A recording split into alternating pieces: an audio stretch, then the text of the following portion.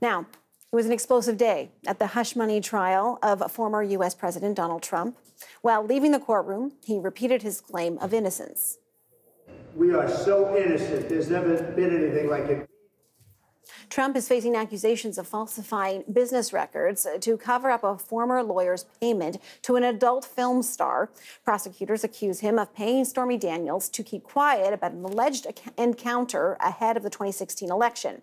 Trump has denied ever having sex with Daniels. She testified for a second and, and final day today and faced tough questions from Trump's lawyers who tried to poke holes in her account of the alleged affair. Our politics reporter Ximena Bustillo uh, was in that courtroom today. She uh, joins us now from New York. Uh, good to speak with you. Talk to me about what stood out uh, for you in the testimony today. Mm-hmm. Yeah, well, as you just mentioned, the Trump defense team really tried to poke holes into Stormy Daniels' testimony. And I think that is what we all drew away from coming out of the morning uh, when she wrapped up her testimony was that back and forth between Trump att- attorney Susan Necheles and adult film star Stormy Daniels on the stand as they repeatedly tried to get her to admit that she had falsified a story. And repeatedly, she stood her ground and said that she, in fact, did not. And Trump still denies that he had any sexual encounter with uh, Stormy Daniels. How has Trump's team been reacting to the testimony? Right. And Trump denies any account of an affair, and that, that's why they were trying to get her to admit that she had falsified the story over and over again. I think everyone was getting a little frustrated uh, during this questioning, both the defense, the prosecution, and Daniels herself, as she stood her ground and said that no, she's not falsifying her story. But at the end of the day, we saw the Trump team uh, try to move for a motion to dismiss the trial for a mistrial. Uh, this was the second time that they did it. The first first time that they did it was on Tuesday after her first day of testimony, where we had a very graphic, uh, detailed testimony about that account, alleged account in 2006 with her and Trump in a hotel. And so they went to motion for a mistrial, but for a second time, the judge denied it. Uh, she stood her ground, as you said. Um, and she did give a lot of graphic details. I mean, there's this was a a, a very uh, detailed account of what she says happened. Why do you think that she was so vivid in her testimony?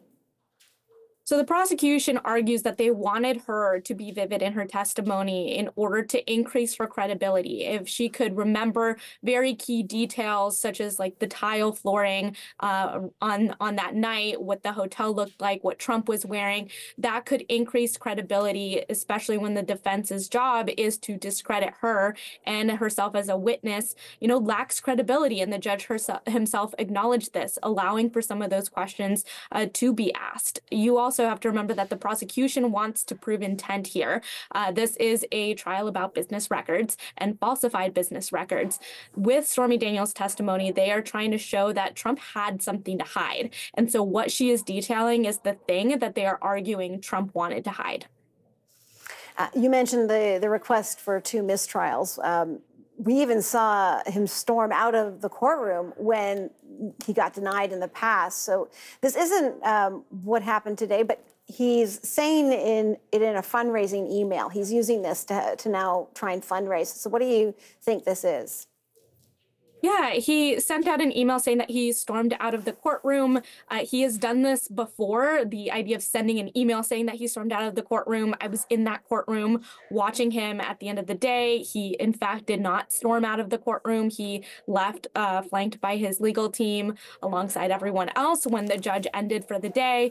Uh, it was very regular procedure. So no, no storming happened today. Um, but he does use these campaign emails as well as posts on his social social media site Truth Social to energize his voter base and kind of use the courtroom and these trials, which he has long said are a political witch hunt and are very unfair, uh, to mobilize his base in that way. There are no cameras, no audio allowed in the courtroom, so he kind of gets away with with stretching the truth on what might happen in there. There's been a lot of talk about Stormy Daniels' uh, testimony, the, the fact that she's not done what you might traditionally see a woman in her situation do kind of put their head down, uh, maybe uh, talk about feeling a, a shame about it. Uh, that's not coming from her. There are there's commentary talking about how she appears empowered, or others watching her might feel empowered uh, from the kind of testimony that she's delivering. Um, what are you seeing to that end? How how uh, what's the reaction in terms of how this could possibly change things uh, for others who might take the stand in, in cases to, that are maybe not the same, but perhaps similar? Yeah, I mean, Stormy Daniels' story is not new, and that's something that Judge Juan Merchan said himself, you know, when we were talking about this idea of a mistrial because her story, quote unquote, keeps changing as the as the defense tried to argue. But she has been fairly public in cable news networks, in one-on-one interviews with other journalists. She's written about this encounter uh, in books and in other areas. Um, so she has been very public with her story, and I think that has resonated with with certain people people.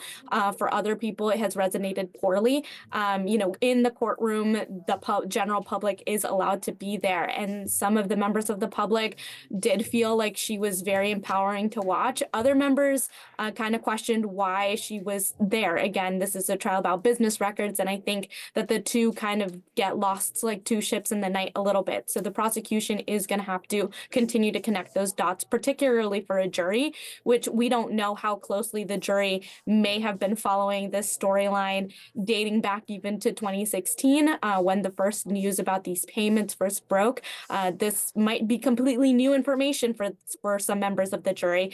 For other members of the jury, this might be something that they have heard and have been following for a while since she has been so public with this before. NPR reporter Ximena Bustillo, thank you so much for making the time. Thank you.